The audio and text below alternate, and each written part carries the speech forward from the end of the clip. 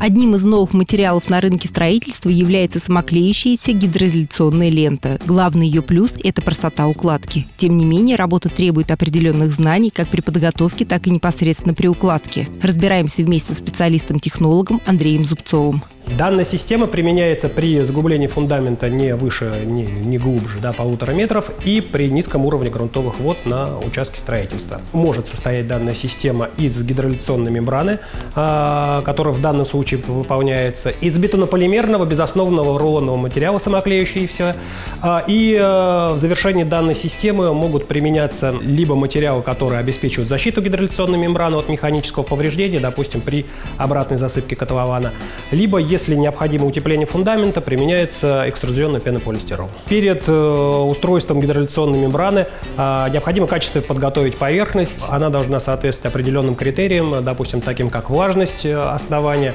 ровность основания, которая не должна, допустим, если говорить о ровности основания, не должна превышать, быть больше 5 мм на 2 метра длины в любом направлении.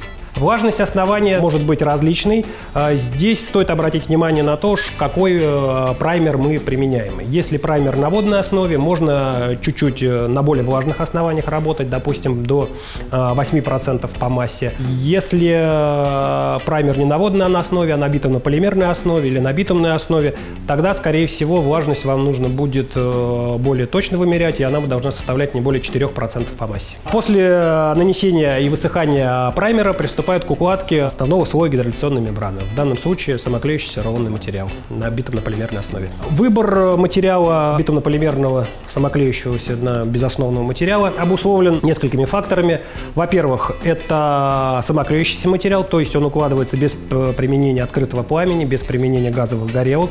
То есть э, с его укладкой справится ну, практически любой человек, который, у которого руки растут из нужного места. Рулонные материалы, ну, в принципе, как любая гидроизоляция, она подразделяется на горизонтальную, которая наносится по горизонту, да, соответственно, и вертикальную, которая наносится на вертикально ограждающие конструкции. Принцип укладки материала и там, и там, ну, практически одинаков, да, с учетом того, что вам надо какой-то вес поднимать а, высоту. Если говорить о самоклеющемся материале, бетонополимерном, то на горизонт наносится ну, элементарно. Да, мы э, с, со стороны клеения снимаем защитную пленку, потихоньку раскатываем на себя, прикатываем э, рулон либо валиками, либо раскатываем э, щетками, ну, чтобы у нас ровно было без пузырей каких-то воздушных под гидроизоляцией нашей было.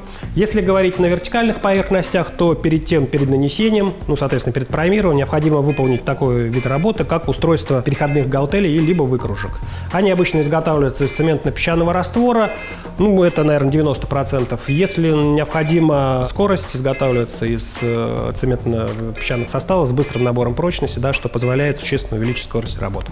Э, не рекомендуется, ну, в общем, запрещено даже изготавливать гаутели из каменной ваты, потому что э, при засыпке котлованом такую гаутель продавит, и, соответственно, на гидроляционную мембрану будут воздействовать нагрузки, которые могут ее просто разорвать. Важно, прежде чем производить монтаж основного материала, необходимо произвести усиление всех наружных и внутренних углов, выступов как по горизонтали, так и по вертикали. На вертикальную поверхность гидроляционная мембрана, рулонные материалы а, наносятся в основном в два захода, скажем так. А, это связано с тем, что на рулонную гидроляционную мембрану а, нельзя наносить а, на поверхность при перемене а, направления укладки более трех раз. То есть горизонталь, вертикаль, горизонталь, вертикаль. Три раза мы переносим. Один, два, три. Уже нельзя, и надо разрезать.